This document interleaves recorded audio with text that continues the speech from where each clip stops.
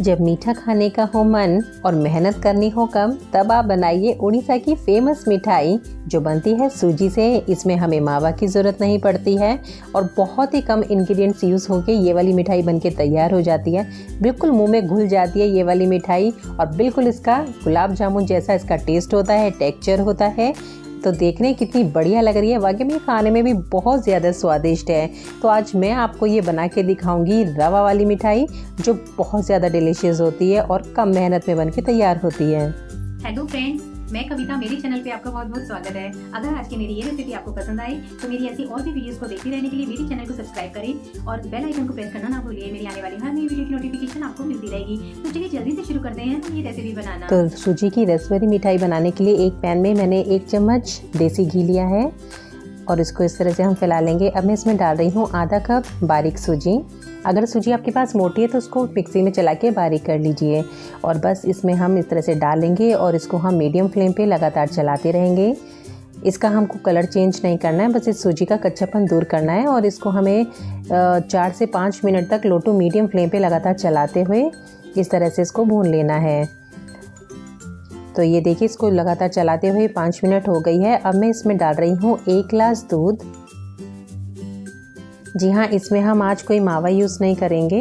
बस मैंने यहाँ पे एक गिलास दूध लिया है और एक चम्मच मैंने इसमें घी डाला है।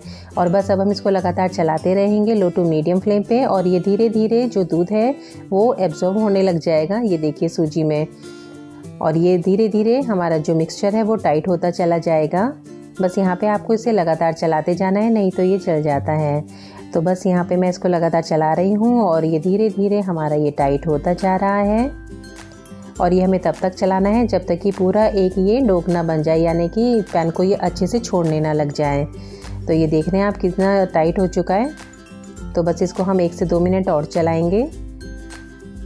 तो ये देखिए, कितना बढ़िया ये बिल्कुल टाइट हो चुका है और पैन को भी इसने अच्छे से छोड़ दिया है। इस कंडीशन में मैं इसको नीचे उतार लूँगी और इसको हम एक कंटेनर में शिफ्ट कर लेंगे।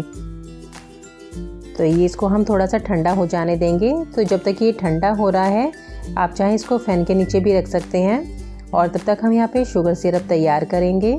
तो इसके लिए मैंने यहाँ पे एक कप चीनी ली है और एक कप ही मैं पानी ले रही हूँ। मुझको यहाँ पे कोई चाशनी नहीं बनानी है, बस हमको एक मीठा सा पानी तैयार करना है ताकि हम अपनी उसमें मिठाई डिप करके छोड़ सकें। जिस तरह से हम गुलाब जामुन के लिए तैयार करते हैं ना शुगर सिरप बस वैसे ही हमें यहाँ पे भी तैयार करना है। तो बस यहाँ पे हम गैस की जो फ्लेम है, मीडियम से हाई रखेंगे और इसको हम तब तक चलाएँगे जब तक कि जो हमारी ये चीनी है वो अच्छे से पानी में घुल ना जाए।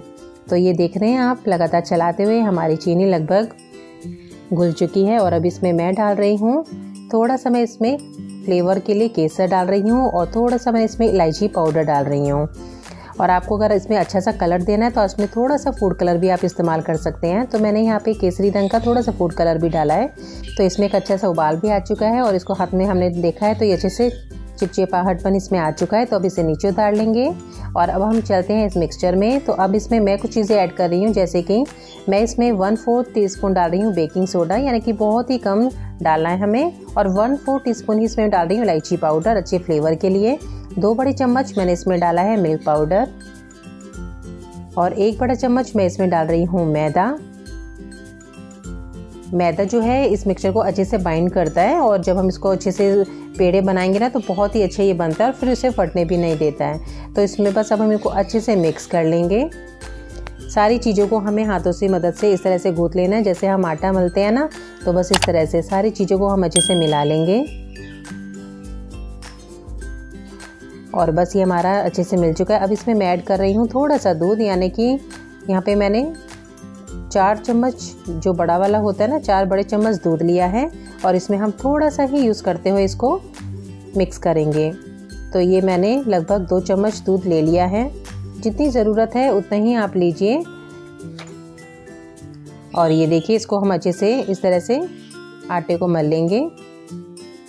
तो यहाँ पे हमें पाँच से छः मिनट तक अच्छे से आटे को मल लेना है, ताकि जब हम इसकी लोइयाँ बनाएँ तो बहुत ही सॉफ्ट और अच्छी बने।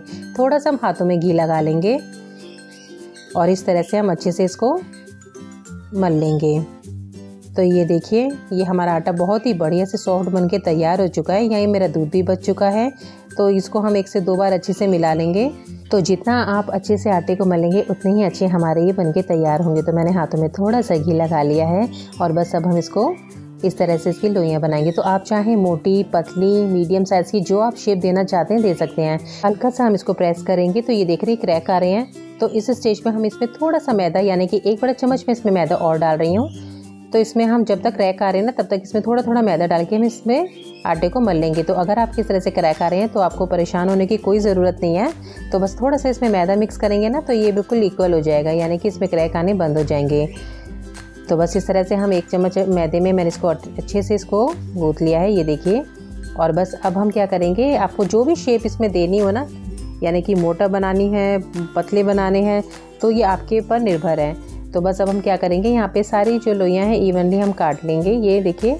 और बस इसको हम अच्छे से हाथों में इस तरह से गोल गोल घुमाएँगे और हल्का से इसको हम प्रेस करेंगे। तो अब हमारे इसमें बिल्कुल भी क्रैक नहीं आ रहे हैं। तो ये लीजिए, तैयार हैं हमारे। और यहाँ पे मैंने सारी बना के तैयार कर ली है। तो अब चलते हैं नेक्स्ट स्टेज पे। गैस पे हम पैन रखेंगे ऑयल को अच्छे से गर्म कर लेंगे। जब ऑयल अच्छे से गर्म हो जाए, तब उसको हम कम कर लेंगे। तो एक एक करके हम इस तरह से इसमें ये छोड़ देंगे। तो इसमें हमें बहुत ज़्यादा नहीं भरनी है। तो बस इस, क्योंकि ये साइज़ में बड़ी होती है और आपको यहाँ पे कड़छी भी इस्तेमाल नहीं करनी है। ये अपने आप ही ऊपर आ जाएगी। तेल को एक बार अच्छे से आप गर्म कर लीजिए, फिर आप इसको लो कर लीजिए। तब आप इसमें छोड़िए। और बस जब ये अपने आप ऊपर आ जाए ना, तब आप इसको पलट लीजिए। तो ये देखिए, बहुत ही बढ़िया से ये सीख चुके हैं। और इस तरह से हम पलट देंगे। अब यहाँ पे हम इनको बाहर निकालेंगे एक स्ट्रेनर में। ये इस तरीके से। और इसका हम एक्स्ट्रा ऑयल निकाल देंगे। मैंने यहाँ पे ऑयल में करा है। आप चाहें इसको देसी घी में भी फ्राई कर सकते हैं। ये आप पर निर्भर है। तो इसी तरह से हम दूसरा बैच भी इसमें डाल लेंगे। तो यहाँ पे हमें एक बात का ध्यान रखना है कि जब आप इसको शुगर सिरप में डालें ना तो हल्की सी गर्म होनी चाहिए। तो मेरी ये ठंडी हो गई थी, मैंने इसको हल्का सा गर्म कर लिया है। तो जब ये हमारा अच्छे से गर्म हो जाएगा ना, हल्का सा, ज़्यादा गर्म नहीं करना है, बस इसको हल्का सा कर दीजिए और गर्म गर्म इसमें ये डाल दीजिए। और बस इसको आप छोड़ दीजिए। ये अपने आप ही फूल के जैसे गुलाब जामुन फूल जाते हैं ना, जिसमें अंदर से शुगर सिरप चला जाता है तो साइज़ भी फ़र्क पड़ता है, एकदम बड़ा हो जाता है। तो देखिए, हमारे यहाँ पे भी यही हाल हुआ है। इसको इस तरह से हम पलट लेंगे। तो जब भी आप ये मिठाई बनाएँ तो हल्की सी जो हमारा शुगर सिरप है, इसको हम गर्म कर लेंगे। और ये हमारा दूसरा बैच भी लगभग तैयार हो गया है। तो ये वाली हमारी तैयार हो चुकी है, और हमारी बाद में दो और बच गई थी, वो भी मैंने इसमें डाल दी है। तो ये लीजिए, जब तक ये ऊपर ना आ जाए अपने आप, तब तक आप इसको बिल्कुल भी मत छेड़िए, नहीं तो ये फट जाती है, ये सॉफ्ट होती है।